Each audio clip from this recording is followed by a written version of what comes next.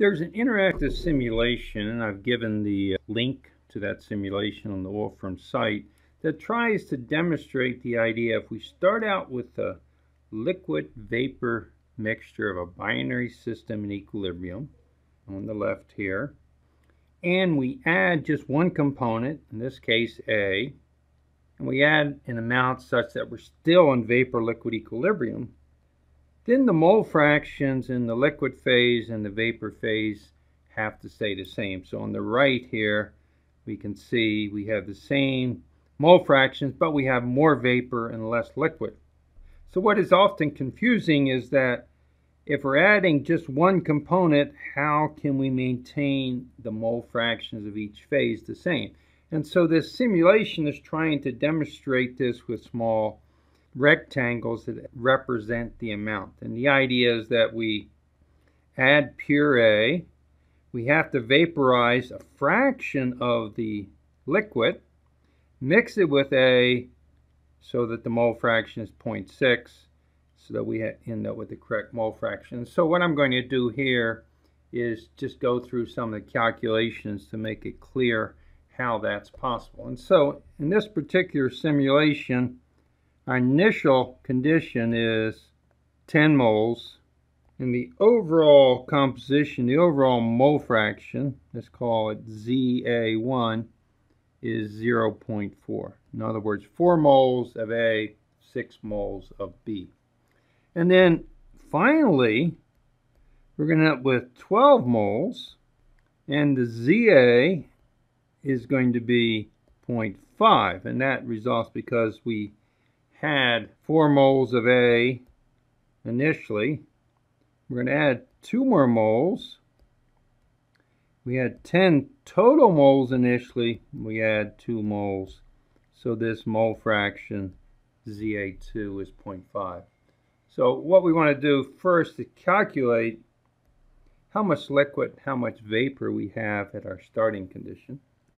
And so we'll do a mass balance and say the total moles of A in our system corresponds to moles of A in the liquid phase plus moles of A in the vapor phase.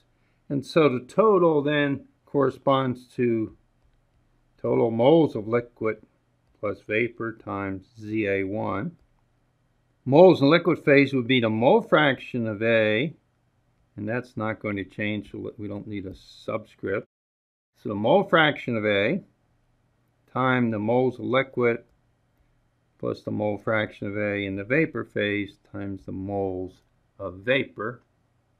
And this is our starting value, so let's put a 1 here to indicate the initial values we indicated this number of 10 times 0.4, so we have 4 moles of A initially. XA is 0.28 times liquid, YA is 0.6, and to solve this for one variable, the number of moles of vapor is the total number of moles, which in this case is 10, minus the moles of liquid.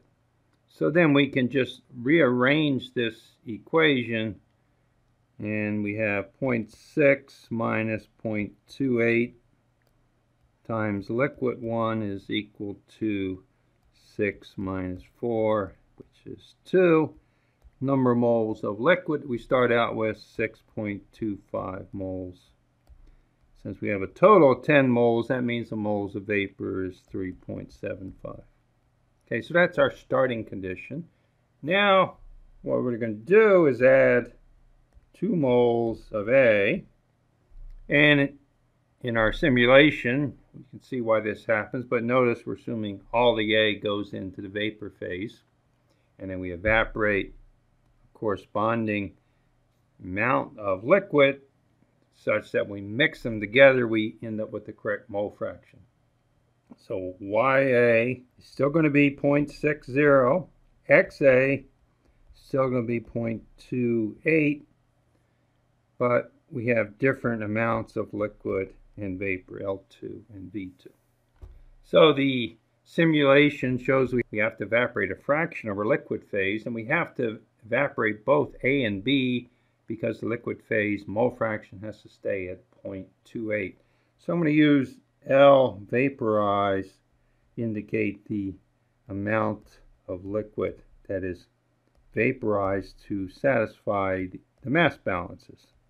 And we're going to solve for this L vaporized. And the idea is that our final mole fraction has not changed in the vapor phase. All we have to do is say, here's the amount of vaporized. We're going to mix it with A such that the mole fraction has to be 0.6. And so let's do that calculation. So mole fraction of 0.6 means moles of A. Well, we've added two moles of A, and then we're going to vaporize with the mole fraction, of course, of A hasn't changed, times the amount vaporized. So that's the amount of A vaporized.